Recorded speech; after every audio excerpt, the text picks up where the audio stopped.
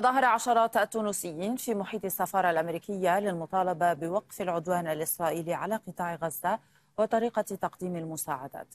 ورفع المحتجون لافتات تدعو إلى طرد السفير الأمريكي وسن قانون يجرم التطبيع مع إسرائيل.